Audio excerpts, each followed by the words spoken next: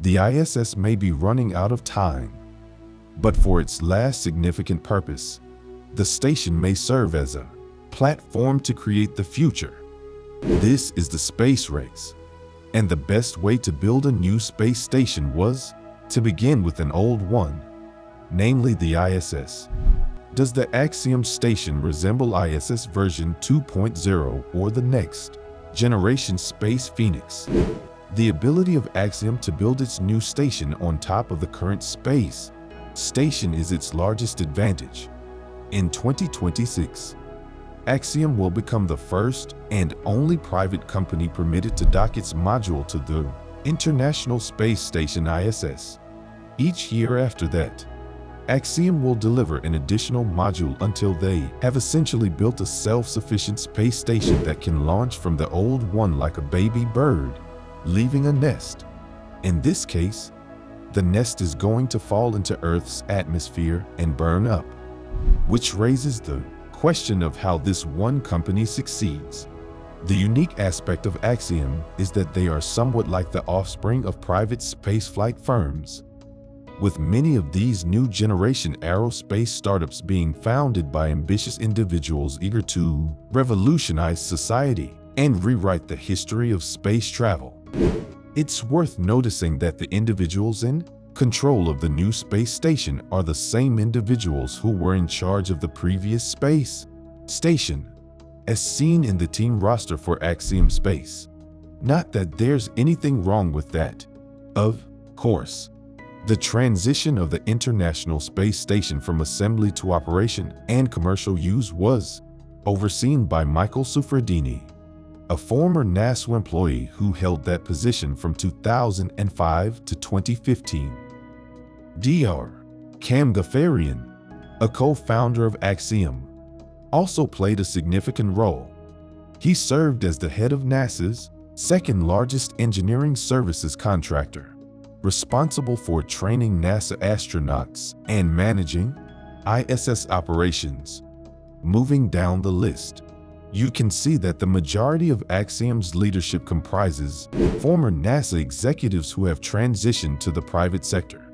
They now have the unique opportunity to build a brand new space station on top of the one they already helped create 20 years ago. Not that there's anything wrong with that.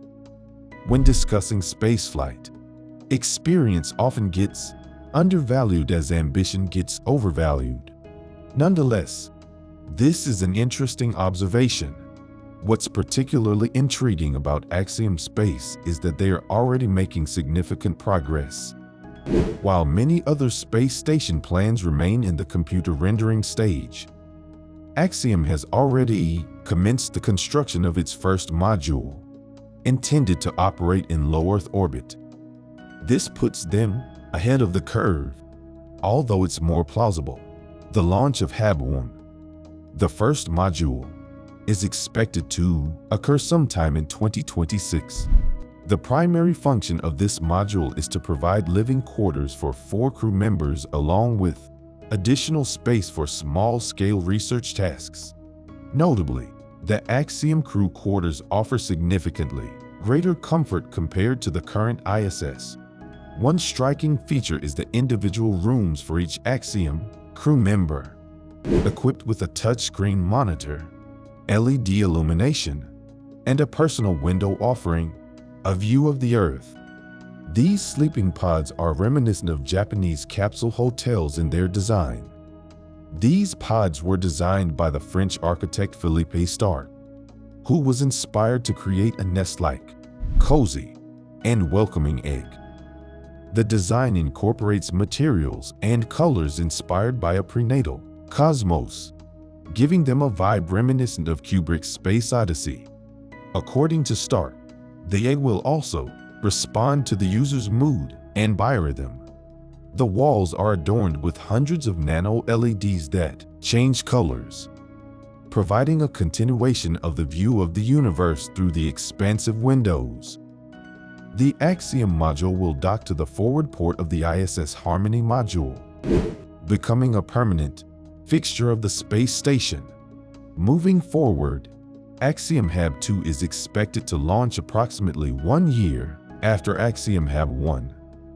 This second module will be similar in design to the first one and will effectively double the crew capacity in the Axiom segment of the ISS, accommodating up to eight people.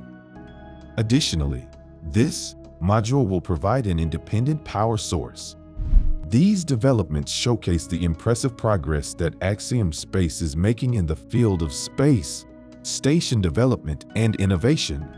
Next, an ARM-style robotic manipulator, called the Axiom Research and Manufacturing Facility, will dock to the side port of HAB-2 and begin forming an L shape, with the goal of providing access to low Earth orbit's unique microgravity environment. This platform aims to conduct innovative research, product development, and manufacturing. Now, on to an exciting addition to the Axiom section, the Earth Observatory. This is essentially a glass dome that can accommodate an astronaut. To complete the Axiom station, a power thermal module will be added. This module serves not only as additional storage and payload space, but also, more importantly, as a connection to the segment's dedicated solar panel array. This connection will power the segment and manage climate control. With these four modules and one incredibly fancy window, the Axiom segment will be self-sustaining in terms of power and climate control. This Axiom station concept ranks among the top four commercial space station ideas that NASA is providing financial support for. Additionally, Northrop Grumman and Blue Origin NanoRacks have secured development contracts to contribute to the creation of additional low Earth orbit destinations. As mentioned earlier, Axiom Space holds the exclusive privilege of developing their station in conjunction with the development of other stations. NASA is prepared to embrace the commercial space industry, but at the same time, they kind of need to make sure that their own interests are being given priority. No one knows how someone like Blue Origin is going to run a space station because it's going to be a brand new femto satellite. The ISS is already stretched past its best before date, and they are really looking at 2030 as the time when it will finally need to be decommissioned and deorbited. Literally, NASA is Axiom. We know that NASA and Axiom are going to get along great because they are the same people who have been in charge of the ISS for the past 10 years. They have traded in their public sector careers and gone private to carry that expertise into the next 10 years. As a result, it is clear that Axiom has been trusted enough to immediately begin working with NASA on board the ISS. In an interview earlier this year, the senior director of In-Space Solutions at Axiom stated, We're collaborating with NASA too. It's also not surprising that Axiom was the first private company to fly a crew of private citizens to the International Space Station aboard Ax-1 in April 2021. And they did the same mission again in May of this year with Ax-2, an eight-day privately funded excursion to the ISS. To accomplish this, Axiom is leveraging a partnership with SpaceX to use the Crew DR. Individuals traveling to space and their activities there. The crew of Ax-1 included one experienced NASA astronaut serving as mission commander, as well as three paying customers.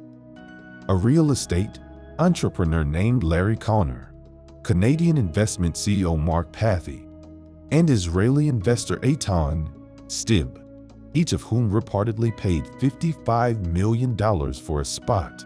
Their weekend space was occupied.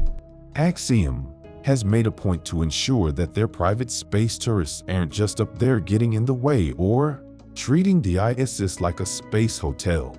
Each very wealthy man was permitted to bring along research projects that were relevant to their particular interest and philanthropy in addition to 25 research experiments developed for microgravity and up to a dozen pre- and post-flight experiments. This is a way of bringing import experiments into space that may have never had the opportunity otherwise. Ax-2 was a slightly more diverse group in addition to their former astronaut mission commander, this flight included John Young. Axiom actually learns a lot from these week-long trips to the ISS because they are using their customers as test subjects to observe how life in space affects what you might call normal people. So, astronavigation. This flight also included Ali Al-Qarni and Rayyanah Barnawi, members of the Saudi Space Commission.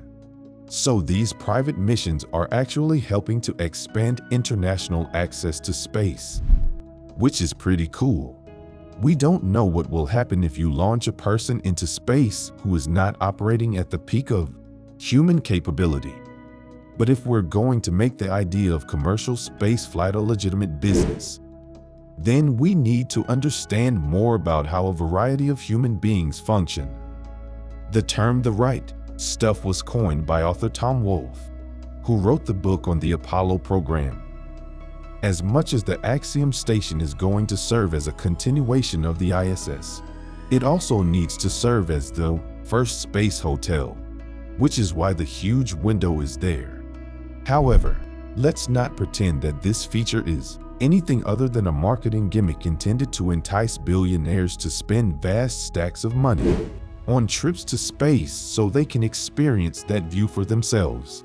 If you enjoyed the video, please give it a thumbs up and subscribe to the Space Point for more content.